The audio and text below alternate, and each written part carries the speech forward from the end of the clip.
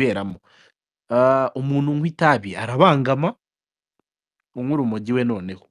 Tayari nta nubwo bamureba. Turacyafite ya myumvire ni ukuvuga ngo ubuzima bwawe purayivesi yawe ibintu udashaka kutwereka. Bigenda neza. Pe! Hari ibintu biri nomo ariko ushobora kuzana hano. Nk'ubu bamfashe videwo ndi kunywa itabi ni urugero. Byaba ari ikibazo. Kuko sosiyete yacu nyine ibyo bintu bifata nk'aho ari redi furagizi kanaye kwiharira ijambo wiri so bite Ni sawa na Brain amakuru fureshi ya. Mm, jewe sindi buvuge ku mavideo ahubwo ndavuga kuri kuri poste nabonye yago yakoze. Niyo numva bitari ngombwa ko umuntu avuga ko arinze ava mu gihugu kubera ko byavuye muri entertainment bijya mu, mashari n'ibindi bindi. Bishobora bi- avuga ko bishobora kumwambura ubuzima ngo aho kubura ubuzima ngo wava mu barozi. Nibyo nabonye ya posting so um, abantu bari muri entertainment yo mu Rwanda I think ko it's time ko bicara ba, ba, ba, ba, bakaraba ikibazo gihari kuko kubona umujene nka Yago malgré ko ibyo ari gukora nawe sometimes hari ibintu nyine ubona akora nawe nk'umwana w'umuntu arahubuka arakora turebe amafuti. ari ndende ariko hari ikindi kintu hano twirengagiza. Uyu ni umuvandimwe Yago arazwi cyane ku mbuga nkoranyambaga cyane cyane bamwiha Kemunike mbere yari yatangaje ati ibintu ntishobora gutsinda uko byagenda kose. kandi niramuka itsinze. turajya kwibera Uganda. Ariko nyine ndayikunda ku buryo data yambwiye ko ariyo yatumye African Union ibaho. Ah, atabafana ubu turagiye ubu bagiye. ubu yamaze kwambuka yagiye za ariko now Kemunike waba uri kuba areka abantu nuvuga baratanga ni tangaza mbere ya maci ingaruka mbi zo kuba abantu batazi icyo cyiza waba uri imbarara. Abantu baburinga abandi abantu bahungabanya umutekano w'abandi. Kuko to be honest abakunzi batandukanye ubwo twavuye mu bari muri stade twagiye kuba ari ku- kuri stade y'imbuga nkoranyambaga. Mm. ibi uyu witwa spina kicks ati kuba ari yatsinda zamu bigoye kurusha uko wabyuka habaye perezida wa usa kuko si- sinzi sinzi abantu ba- bari hano bashobora kureba nyuma yaho bamaze guhura na na na uwitwa Emi Pirova cyberbullying ati amazi agura angahe mbese? Ngo bashobora kuriretinga bakabi- iyo ubwo urumva nyine abantu iyo ubona abantu barenze batatu bane bavuze batanu benshi bari kuri wowe. Mm. bapostinga ibintu bya even nubwo bitaba ari tureke n'izi videwo z'aba- z'abantu baba bambaye. N'ibindi bindi bisanzwe byarangiye arimo atabaza none se nyine ubona abantu bari kuri wowe ari bo bari kemunika kubivugaho ati mutabare mutabare kuva rgb yakwinjira muri sport ushobora ikipe yacu yahindutse nka giti cy'inyoni muri tubuze ikipe yacu tuyireba bigenda tunaniwe gutsinda marine n'amagaju tuzatsinda mukura cyangwa polisi bari muri tongeye izindi. mu rwanda n'ukuri zihe? Byavuye mu bintu byo gutwika Eh. byatanguye biza abantu babikora ariko gutwika ariko nyine gutwika kuvamo gutwika gutwika nyine dusanzwe tuzi ko umuntu Eh, ari mu muriro. None gutwika ibyo yabonye nyine. agakomereka Eh. cyangwa akanapfa iyi ni hafu ibyo mbona biri hari Eh, ni ho bantu biri kuko fc babalao? Umuntu arinze yandika ati iriya kipe ni guhunga igihugu nuko mu ubwo yari azamuriye ni ibindi ko bintu fayitoto yari yabakabye ati "Tu- dushaka abafana ba agiye baze badushyigikire bari kumwe muri muri muri ibyo bya entertainment. Uhita wumva ko ari ikintu ki- kiri kiri so strong. Byatangiriye kuri even ku, ma instagram abantu baza postinga bagi- akoze ibi- ibitaramo byagenze uko wasohoye indirimbo ntabwo ushoboye kuririmba ibiki n'ibiki n'ibiki so yago nawe yarahungabanye sibyo? Kandi iyo umuntu ahungabanya ahungabanya abandi. Twe twagiye tubifata nk'ibintu by'imikino n'ibiki. Buriya umuntu yahungabanye nawe ntabwo agomba guhungabanya abandi uko bigenda kose. So njyewe ni cyo kintu nashaka kuvuga cyane cyane kuri kuko videwo yo ni videwo si ibisanzwe ntabwo nabyita ngo ni ibisanzwe. Ubwambure bw'umuntu kujya hanze atari bikajya kubona abantu batari bagenewe kubibona. Kuko uko bigaragara iriya videwo it, it looks ko ni, ni bari bari kuri call n'umuntu. So hari rero amaso ari kubibona atari yateguriwe kubibona turi kubibona tutari twateguye kubibona. Ariko ibi byose ni ingaruka mbi za, za, za cyberbullying. Abantu baraza hano kuri ntuze kuri media kubera ko umuntu yakoze umunwa kubera ko umuntu yigize yigize ikintu ki- kidakore kidakogwa ko abantu bagatinya. Hano hano hari hari ubwoko butatu bw'abantu. Hari umuntu avuga ati njye mfite ibintu byo guhomba. Nubwo wankorera iki? I can never come to media to social media ngo njye kuvuga. Hari n'ubundi mugwi w'abantu avuga ati njyewe bitewe n'icyubahiro mfite mu bantu nta nubwo wandenganya ndakwihorera ntabwo naza gusubizanya n'umuntu. Hari n'abandi noneho batagira icyo bahomba hano. Abo rero batagira icyo bahomba nibo bantu ubona baza hano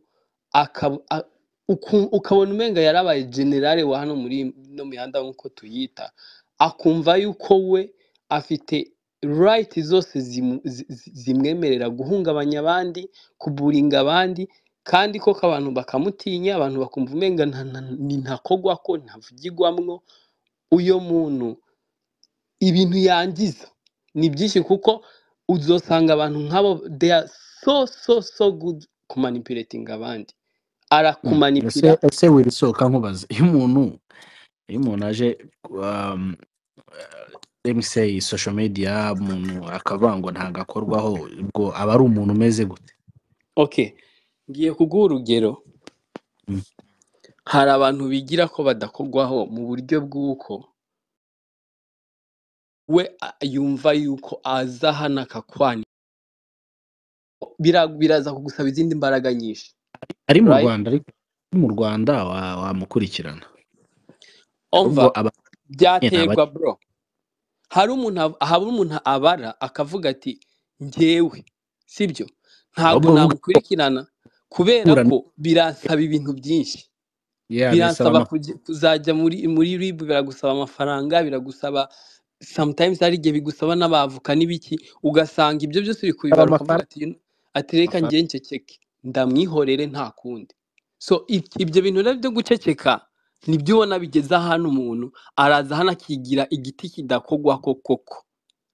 Sibyo? Noneho twebwe natwe tuza tugashengerera tuga- tukaza hano ugasanga natwe twaragiye muri mu- muri iyo ntuze muri muri iyo muri iyo box yo kumva ko umuntu na nakora ibyo bintu njye ndaza gutinya ntabwo ya nobrena natuka umuntu ntabwo ndi buze mvuge ngo nobrena ibyo uri gukora ni amakosa. Naza akandagaza umuntu ntabwo ndi bubivuge kandi ejo aragaruka akaza yitwikira undi mutamana akavuga ngo ndi gukora ibintu byiza. Ugasanga turi kumwogeza kubera ko ntabwo tumwogeza ngo ni ukubera ko akora ibintu byiza ahubwo ni ukubera ko tumutinya. Ni ukubera ko dutinya natwe ejo atatugira nk'u- nk'uwo twabonye yakoreye ibindi. Abo bantu rero tanke bakihari hano hano kuri social media. Ibi bintu nyine buri gihe uzabona abantu havemo umuntu avuga ati ngewe gu- kugenda uwundi avuga uwundi ah- ahitemo kuva kuri social media for good. Kandi byangiza ubuzima bw'abantu mu mutwe kuko nakubwiye umuntu umuntu uhungabanye muri we nawe ahungabanya abandi. Eh, ntago ntinya kuvuga n'amazina y'abantu kuko ariko igihugu kiri kwihuta. umuntu arambwiye ngo gusoza umbwiye ngo mu isaha imwe ngo Mhm. abaye akiri videwo ngo iba igiye hanze. Ngo ako kanya ngo videwo ikijya hanze ngo yaga basohotse igihugu. Ngo yaga gisohoka igihugu. Oya video eh! uko bigaragara ko yagashobora kuba bifitemo uruhare bara- mu kugira yanze babayisibye kuri youtube mpayinga sha mva mbabwire cyakoze nta nubwo binoroshye pe. Ibintu biri kuba hano i nyarugenge ibintu biri kubera i nyarugenge nta n'ahandi hantu byigize biba. Oya ariko none se video niba ari wowe wayisohoye urabizi ko bihanwa na rib irabihana biriya sibyo umuntu ntabwo rero yayisohora ari mu gihugu wa mugani reka mbabwire. Umuntu wese ufite platform akayikoresha arimo kwataka abandi bantu. My friend igihe cyawe nikigera. Cyawe nikigera. Uzacibwa kandi nta muntu uzakuvugira. Ya ntabwo ngo nifatire umuntu ku gahanga rimwe kabiri gatatu kane ibyo ukora byose abantu barabibona. Abantu ba ba bakuretinze ama ama channels abandi bakuretinga ama instagram abandi bakuretinga ama x account bagamije gusebya no guharabika abandi bantu. Bigomba gucika kandi kugira ngo bicike nuko namwe muzakorerwa nk'ibyo mwagiye mukora. Nshobora kubaha ingero nyinshi z'abajene bagiye bigira akara hakajya ubu bafunze umunwa wabo ntibakivuga. Kubera ko bagiye bakorera abantu ibintu bibi rimwe rimwe uzabyuka witure ku muhungu warakaye utazi aho yavuye akwicaze hamwe akwigishe akubwire ngo n'undi munsi ntuzasubire. Ingero turazifite? Kandi ziracyaza kandi abaceza hari abantu bazi guceza iyo miziki. Hari abantu hano baba bari muri dusunike bagabo. Dusunike bagabo nkunda kuyigarukaho nkavuga nti hari igihe usanga imodoka yapfuye iri ku muhanda. Iyo imodoka yapfuye itari kugenda yagize nk'akabazo bakavuga ngo mushiture imodoka abagabo bajya inyuma bakayisunika ikagenda nta muntu uba uzi neza ikintu yapfuye mu by'ukuri. Dusunike bagabo rero na yo ngayo nkunda kuba ni ikigare cyigendera twibera mu bintu samutayimu birimo ibintu by'ikigare ariko ntabwo hashobora kubura inkomere z'urugamba. Kubera yuko bakuru nkabibwira ababloga nutaba supportive ntabwo waramba muri ibi bintu. Reka ibi reka. bintu biraba supportive kuba creative M- ibi bintu birasaba kwitonda no kuba no kwihangana. Ushobora kubyuka ukaba uri gucreatinga youtube channel ukabona ntabwo uri kubona amafaranga uri gushaka ariko si byiza yuko kugira ngo uyabone unyura mu nzira zo gusebya umuhanzi runaka. Mpamvu mbibabwira ngewe mfite experience. Ngewe nabinyuzemo ibyo bintu byose ndi kubabwira ariko naje gusanga nta cyiza cyo gusenya. Narize ngera kuri level mvuga ni kugera kuri uyu munsi reka mbe umuntu uri supportive. Mbayeho neza kandi nifitiye amahoro yanjye guys. I'm telling you. N'abandi rero ndabibabwira muri bino bintu ibintu byo kuba negative ntabwo ari sawa. Noble biza yes yes we- U- umunota umwe tujya tujya kuri uh, back to 21c yeah, ah, i- i- ikindi na cyo ngewe nashaka kuvuga ni ku bayobozi uh, ku bayobozi mostly abayobozi bashinzwe guhana abantu bakora bino bintu. I do remember muri 2021 ngewe nituye RIB. Sibyo nituye RIB ku kibazo nari mfite cy'ibintu nyine bijyanye na, na, na social media. Uh, I mean cyberbullying. Hama umuyobozi nituye muri RIB arambwira ngo ikibazo ikibazo gihari kugira ngo bafunge umuntu. Urumva hari amategeko of course hari amategeko akumira nyine bino byaha. Ariko urabizi twese um, mostly urubyiruko ikintu cya mbere batinya ni ukujya ni ugufungwa sibyo uku kuntu rero ah, bagerageza bagerageza kutabafunga bakagerageza nyine korosha koro, sometimes bakorosha ibihano kugira ngo ikintu ikintu we yanyumvisha yanyumvisha yuko bashyira imbere guhanura kurusha guhana. Kuko sino wasanga ubucucike mu, ma, mu, mu, mu magereza ari bwinshi cyane. Noneho hari abantu ariko ngiye mbona ibintu byo guhanura biba byara- byarabarenze pe ni ukuri. Ugasanga umuntu ejo aragiye muri rib hirya y'ejo asubiyeyo mu kwezi kuza asubiyeyo mu kwezi kwa gatanu asubiyeyo uyo muntu yego turumva yuko gufunga umuntu ni, igihombo kuri leta kuko bamufunze bagomba kumugaburira bagomba kumuharyama ibiki n'ibiki. Ariko ibintu bano bantu bangiza ni byinshi cyane. Kandi ikindi na cyo it's time yuko twebwe twebwe dukurikirana abantu bo hano kuri social media. Twe twitwa ngo turi abafana babo. Numva ko hageze yuko niba tudakeneye tuda, ibyo tubona tudakeneye kubitubaho cyangwa ibiba ku bana bacu cyangwa kuri bene bacu cyangwa kuri bashiki bacu it's time ko dutangira kuvugisha ukuri. Umuntu niba ari gukora amafuti vayo uvuga turi gukora amafuti nakwanika kwanike it's okay. Ufite ufite uburyo bwo bwo ku- bwo kumuhana ubwo kumuhanisha umuhanishe ariko twige ku- kuba abantu tureke kuba indyarya. Njyewe i regret igihe nabaye indyarya muri ino mihanda kuko hari abantu koko njyewe bakora ibintu umutima wanjye ukambwira ati ibi bintu it's not what we stand for. Umuntu arazana fami- family y'umuntu barashwanye n'umuntu agahita agenda agahurutura mwene wabo akamuzana hariya ngo uyu ni umutinganyi ngo uyu ni ibiki ngo uyu ngo yarongowe n'ibiki ugasanga uyu muntu nta n'ikintu we banapfuye kubera ko yashwanye n'undi mwene wabo. Ibyo bintu ibyo bintu byabaye hano kuri hano hano hano hano mukabibona tukabibona ugasanga it's okay nyine ukumva umenga nta kuko bitari kuri wowe ukumva ko nta kibazo. Umuntu agashwana n'uwundi hano bafuye ibintu byabo ukabona barazanye mama wiwe papa wiwe bazanye umuryango wiwe bazanye ibintu byo gusebya n'ibiki ukiyumvira ibi bintu biri ko biraba kuri njyewe. How will I feel? To be honest kuko niba njye shwanye na naka ugaca ugenda ukazana ukazana tukavayo tukavugisha ukuri ati ibi bintu ntabwo ari byo guhera kuri aba bose bigi- bigiza ubwasamutwe n'ibiki we have to stand kuvuga ngo this is not right. Otherwise tuzakomeza kubona urubyiruko ruri kwangiza. Kuko kuko niba njye ubinkoreye uno munsi ejo nanjye nzabikore niba ubinkoreye nkagira ubwoba koko nkumva ko byamfashe byankozeho. Ejo nanjye niyo nkoni nzakubitisha undi muntu. None murumva tu- turi ko tujya he tuko tuva. Thank you.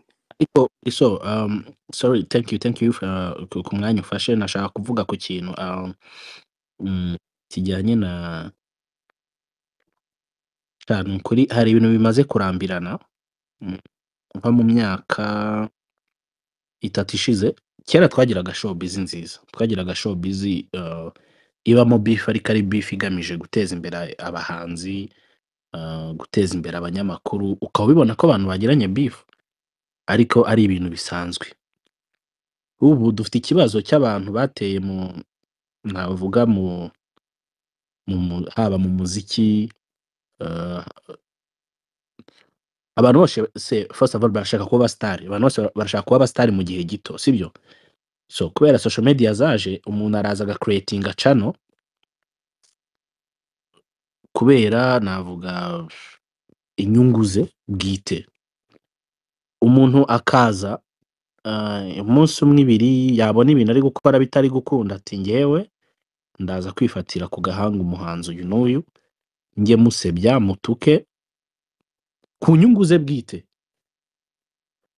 Ah, rimwe na rimwe hakaba hari n'umuntu udakunda uwo muhanzi akaba yanyura inyuma akamubwira ati enda aya madolari ijana ujye ugenda uyu muntu umunsebereza Mm.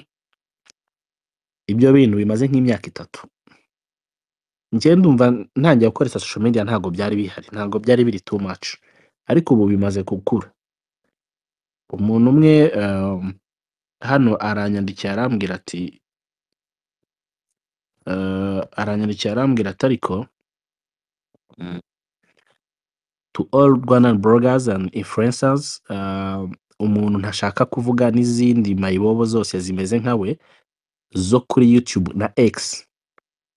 As concerned individual, I would like to address an important issue affecting many of us the tendency to create false stories and exaggerate situations, particularly when attacking individuals.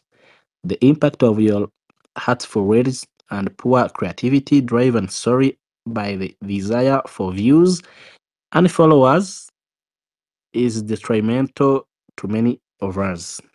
This is not showbiz. Please consider the consequence of your words, spreading false narrative or exagger- exaggerating issues, especially at the expense expense of individuals and, the fa- and their families. Families harms real people. With your influence comes responsibility. If Lib does nothing about it, I swear to God, some of us will handle it in one way or another. NB, my promise is a debt. So, ngerageje kugenekereza mu kinyarwanda ah, navuga hari abantu bagiye bagira kwa batatswe sibyo n'imiryango yabo. Bikorwa n'abantu bamwe bikorwa abantu bareba abantu baraceceka. Sibyo abo bantu ni aba public figure abahanzi abanyamakuru bikunda biraba cyane. Noneho ikibabaje ibyo nta muntu uba ushaka kubivugaho. Kubera ko izo abo bantu baba bakoze ibyo bintu rimwe na rimwe ntabwo ari abantu banini cyane. Ariko akenshi baba bari kwataka abantu banini. Umuntu arambwira ati ibi bintu ntabwo bikiri show busy bro. Ati ni uko mutabibona. Ibi bintu byamaze kuzamo rimwe na rimwe um, amoko n'amacakubiri. And for sure ese nk'abajene baba muri ibi bintu. Muratekereza ko bino bintu ari responsibility za officials mm, gov- government officials. Zo kubiha turebe ari wikendi ndende kabisa. Shado aba ngaba nabo baranditse. Uyu ni umuvandimwe Kemunike arazwi cyane ku mbuga nkoranyambaga cyane cyane Twitter. Kemunike mbere yari yatangaje ati negative. ntishobora gutsinda uko byagenda kose. Kandi niramuka itsinze turajya kwibera umutima ntabwo ngira umutima atazamu ndayikunda ku buryo data yambwiye ko ariyo yatumye Union depression ibaho ngo ibi n'ibi n'ibi. Ariko guys abo bantu Ah, niba uri inshuti batanga tangaza mbere babyumve. Icyo kiza, waba uri imbarara.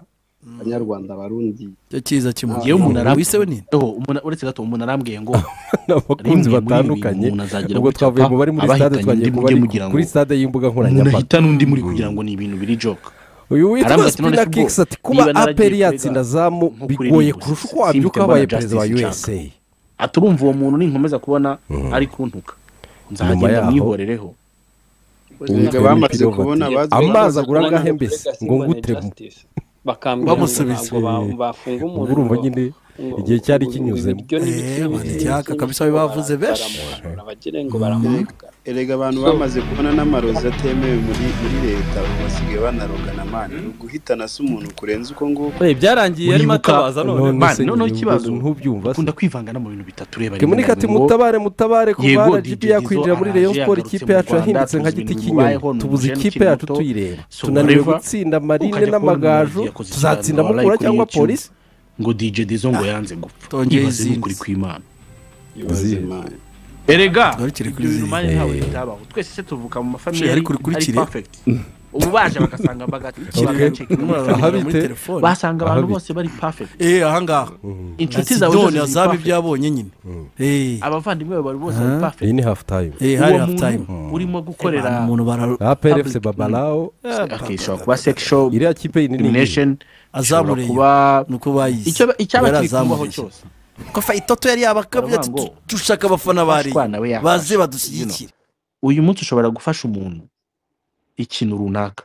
Nawe ejo uwo muntu akaba yatanga umusada wo kubaka society you know. Nta mpamvu yo guciraho umuntu iteka. Umva umva umva umva nubwo akantu gato nanjye kongeraho. Izi habamo ibintu Nzabamereza. si na showbiz gusa ariko noneho abanyamakuru aba, aba, abantu ba mbere bateye ubwoba aba bloggers. Nibo bantu nitwe duteye ubwoba ubu ngubu tuvugana.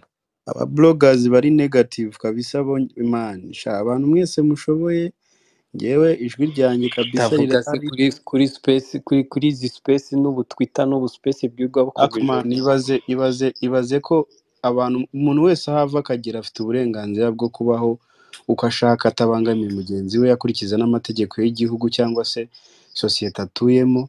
Umuntu akava hariya kuko just wakoze iryo zina. Abajene benshi hano hanze hari abasitari mutakibona hari abajene mutakibona bavuga badagikora ibintu mwabakundiye cyangwa se bamenyekaniyeho. Just because aba bantu baza bagashyira hanze amabanga yabo baza bagashyira hanze dark side za nta muntu uri perfect. Nta muntu uri perfect. Kandi cyane cyane bigakorwa n'abo bantu bitwa ngo bari hanze cyangwa se bari hano hanze ariko bahishe nabo ibyabo biyambuye nyine umwambaro wo kuvuga ngo baratinya nta muntu batinya bigize intakoreka which is not good man. Bangiza ubuzima bwa- bw'abana hano hanze ibaze nk'umwana nk'uwo nguwo baranatanzeho urugero. Utagira pazo agiye kuvuga kuri pazo tukaza iyo tubonye iyo ngiye mbonye abantu banshungereye ngira ngo ni ukunkunda bankunze cyangwa baramfana nkaza nkara ariko ibintu bya mbere ahubwo ribwo yari kwiriye gukora yari kwiriye guca ibintu bita ngo ni ama operasiyo y'abayutubazi izi operasiyo nizo zakomerekeje abantu ngo operasiyo kanaka operasiyo kanaka ngo yagize gutya udafite amakuru ahagije gusa guhimba kugira ngo ubone Eh, ngo bariya nabo birirwa bavuga ngo bagiye gukora ngo operasiyo ku muntu. Nzi umuntu Mm. bakoreye operasiyo itariyo nzi umukobwa wimereye neza wifitiye famiye abantu baragiye ba- ba- bahimba ibintu bamukoraho operasiyo ngo inzu yiwe murahita munamumenya simuvuga izina ariko muramumenya. Abantu baragiye bahimbira umukobwa umwe ngo inzu yiwe ngo operasiyo ngo ukuntu ngo ngo umugabo ngo w'umunyanigeria ngo wamwubakiye inzu i kigali. Mm. ngo none ngo uwo mugabo ngo inzu ye ngo arimo arayigurisha. Izo ni nyinshi. Ni nyinshi. Reka ibintu byateye reka ikindi kintu ushaka kubabwira. Hari abantu bandika ukuntu bakamubwira ngo umva ngo mpa amadolari wenda magana atatu. Yayamwima ah, akabyuka yamukoreye operasiyo. Cyamaye nk'abagabo. Ibyo bintu ariko ibyo bintu bikorwa kuri YouTube. Ntabwo ari hano kuri X. Ni abantu bo ariko benshi ariko benshi benshi amakuru batangira kuyakura ahangaha wibuke ko content nyinshi zitangira hano kuri kuri Twitter kuri gira hano ariko ntabwo kuri kuri kuri X ntabwo haba operasiyo. Izo operasiyo ziba kuri YouTube. Erega batangira batangira bari kuvuga ngo bari kuvuga ku muntu runaka. Reka nkubwire hari n'ikindi kintu tujya twibeshya? Turahura arambwira tuzi ko bankoreye operasiyo ngo inzu si yanjye ngo bayinsohoyemo? Umva rero na buri hari ukuntu abantu bashobora kwibona ngo bakoze Kigali ahubwo n'abayobozi bacu baragowe ubu bazajya bahora biruka bavuze uyu. Ariko ikibazo ibi bintu ntabwo bikiri eh, hari umuntu wanubwiye ngo mbasobanurire kuri iyo ureka ngasoza kano kantu nari mvuga kayo mu operasiyo nsobanura ah, atari kumwe Opifu. ndi kukumva mani ndi kukumva ngaho uvuga vuga sorry sorry. Ye- ye- ye- ibintu nari mvuga hari ukuntu ushobora kwibeshya followers ibihumbi makumyabiri ukaba numva ko kubera ko Wilson dufitanye nawe ikibazo ngo nafungwe tukaza tugatega dusonga bugari tukumva amagambo n'ubujarwa ni uko nguko ubwo noburena yakomeye yagufungisha ubu ngubu hari abantu basigaye batinywa ngo bafungisha abandi. Muri kumva? Murabaza hano aba- abantu yitaho na influencer umwe akanakubwira ati genda kuri payroll y'ibi bintu barampemba. Ukumva umuntu asigaye amutinya kubera ngo yishyizeho ngo mwiriwe. Ngo amakuru bafunge. meza. Nitwa ibi bintu rero rubyiruko niba udakunda amatiku niba utaba ku matiku urumva? Wowe ushobora gusanga bari kwicarira nka burena njyewe bajya banyirukana mu masipesi iyo nzaze bicariye umuntu ndabwira ati ariko ibi bintu ntabwo ari bakati "Ah, eh, ntumwirukane uje kuvuga ubusa. Kanyirukane nkimanukira nta ntambara nkigendera. Urumva? Ariko njyewe mba navuze ibitekerezo byanjye. Tugira abangahe bavuga? Ko bose baza buri wese agatanga agasonga bwari bakumva umuntu akaza akakubwira ko umuntu ari gukora ibintu kubera urukundo. Ari advocacy. Sanjake ndi gukora ino space kubera advocacy. Sindebe. Ubwo ndi guhonda nobrena. Nkaza nyitwaza ngo ni advocacy noneho abantu bakaza bakicarira nobrena ku- aho kugira ngo ati iyi nta advocacy irimo ahubwo uri guharabika umuntu ahubwo tukicara twese tuga agasonga bugari. Njye hano nigeze kugirira ubwoba ah, bwa sosiyete turimo nigeze kuba ndi hano muri canada hari intambara ku ma instagram none icyo gihe nkabwira abantu ibi ntabwo bikwiriye ntabwo abantu bakwiriye kurwana n'ibiki n'ibiki n'ibiki umumama wiyubashye my friend dura nta hantu muri parike ahantu muri canada.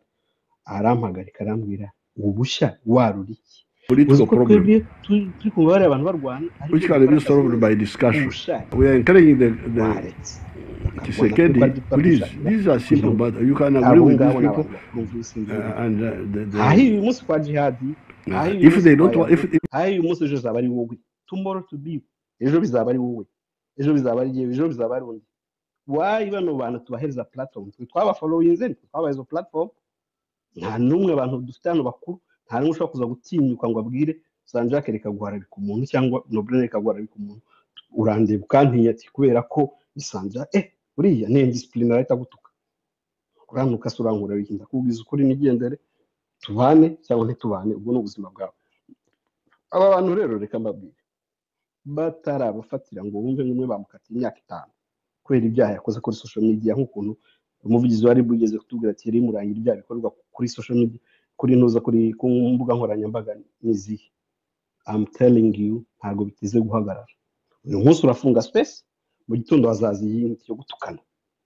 Baza kuza kwishyura ibi bintu byose kugira ngo hagire ibikavaringwa hagire donc habeho ibintu nyine kugira ngo habe icyumweru. Ubu ngubu twabonye ibintu iyi ndirimbo ya The Ben ubu ngubu turayibagiwe tugiye kuri jihadi ejo tuzajya ku wundi n'ubwo buzima tubamo bwa buri munsi. Uri kumva jenoside yo gukumira ibi. Nahindura. Nahindura umuvuno. Nubwo ndi mu mahanga cyaba ari igihano kuruta icyari urumva? Ariko turaza tugakomera amashyi sanjake agatuka nobure na nobure n'agatuka nuko uri mu gihugu nabambwe. Kubera ko ribi iri hafi we baramufata. Ese uri hanze y'igihugu we? Arabambwa nande?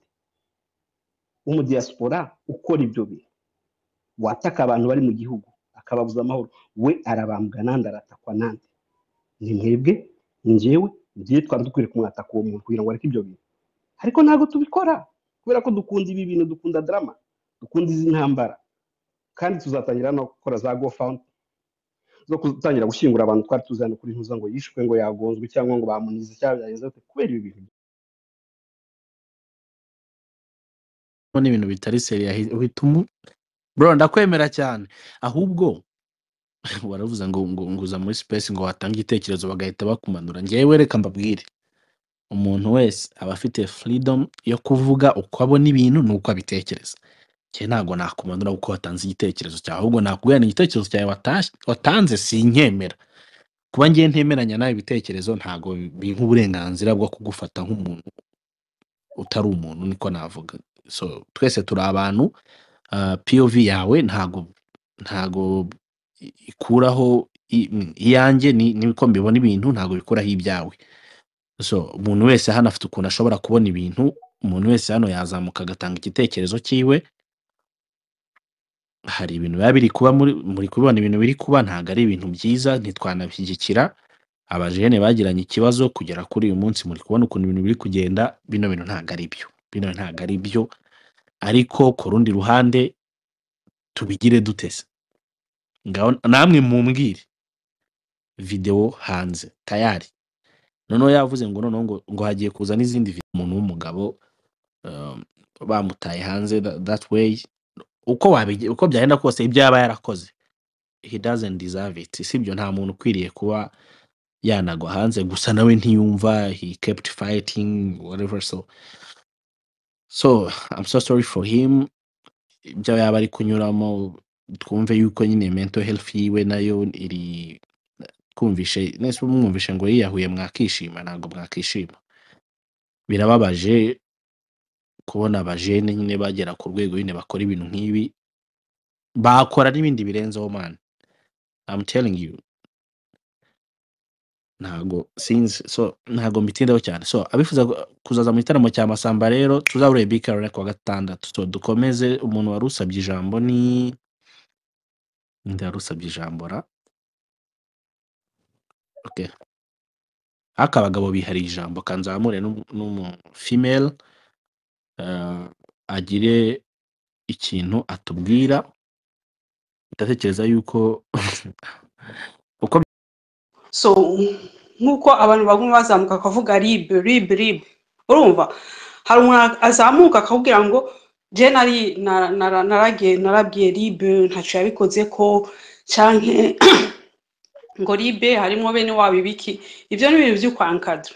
Kubera ejo abo hariyo abantu ba- bashaka kubikoresha mu gusenya igihugu. Bakavuga ati eh ya ribe mwavu twavugaga. So you have to be careful. Very careful. Ibyo nda- ibyo ndabyumva cyane ariko nta n'umuntu wize uvuga ko ribu itamufashije. Ntekereza ko ribu ari urwego rufite imikorere yarwo uh, ushobora no kujya gutanga ikirego bagasanga nta shingiro gifite. Ntabwo twe tuba duhari ntabwo tuba tuzi uko bimeze. Um, hari ntekereza ko hari sitepu zitandukanye zikoreshwa iyo umuntu arimo aratanga ikirego uh, ntawavuze yuko ida, idakora cyangwa idakora neza ahubwo ntekereza yuko uko wagiye urega utanga ikibazo cyawe barakwakira. So ibyo ntekereza yuko inzego za leta zifite uko zi- zikora nta n'uwatuyobya kuvuga ngo turakadara whatever. So this is a free space. Uh, nta waza hano ngo asenye igihugu cyacu twanabivuzeho uh, so you don't have to worry about that. Ntekereza yuko nta rib ifite imikorere yayo kandi turayubaha. Uko byaba bimeze kose nta ntabwo turi bubyivangemo cyane kuko tu- turubaha inzego za leta mu biganiro tugira. Kandi ntekereza ko nawe watanga igitekerezo cyawe so please. Ibi fokasinga ku byo turi kuganiraho rib ntekereza yuko ifite ukuntu ikora kandi turayishimira nta mpamvu yo kubitindaho cyane. Uh, uwumva ashaka kurega uh, so ya- yagira ariko um- umuntu agira n'ibitekerezo byiwe umuntu ashaka kuza akavuga ati ngewe? Hari n'abantu baba bumva bararenganye kandi batararenganye ibyo ni ibintu bisanzwe.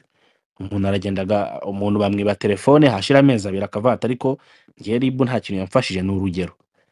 Ntagaruka iba itaragufashije ahubwo igihe uba ugomba kwihangana ugategereza hari n'abantu ba- babura telefone hagashira amezi atandatu ikaboneka hashize n'umwaka.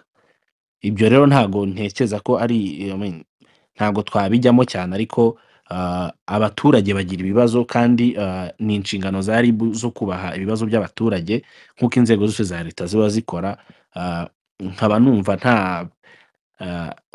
guclaiminga ko utahawe service nziza ntabwo ari icyaha.